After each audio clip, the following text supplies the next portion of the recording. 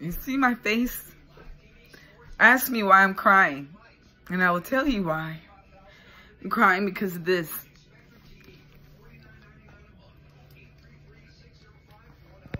I'm crying because of this. Look at my ankle. Why is there a shackle on my foot?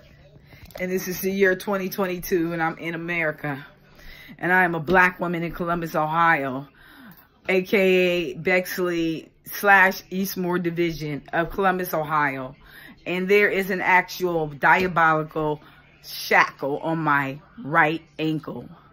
All because the court of municipal court here in Columbus, Ohio ordered it as a result of a lie, a wicked lie, a wicked, nasty, horrible slave mentality, slave master mentality lie was told on me.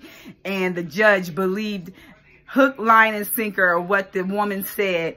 And the judge ordered me to wear a shackle on my foot until further notice without any other reason other than this woman accused me of violating a civil protection order that I did had did not violate. And as a as a matter of fact, it was that party who they tried to reach out to me, and I did not entertain their their attempts to get in touch with me.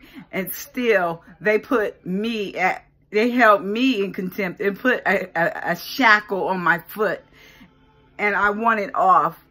And every day that I, every day from today, today is April 5th, 2022, or April 6th, one or the other. I'm trying to keep up with the days that I've been enduring this horrible situation here in Bexley, Ohio, where they put shackles on black women for dating their father. That's what they do. They that's the that's the that's the short version.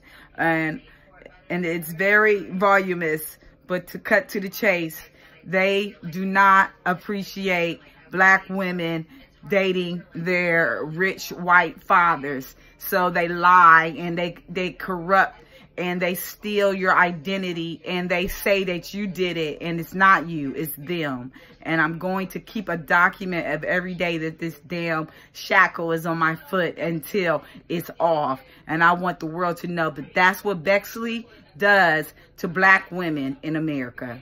That's how they think of us. They put shackles on people on black women's ankles here in Bexley, Ohio.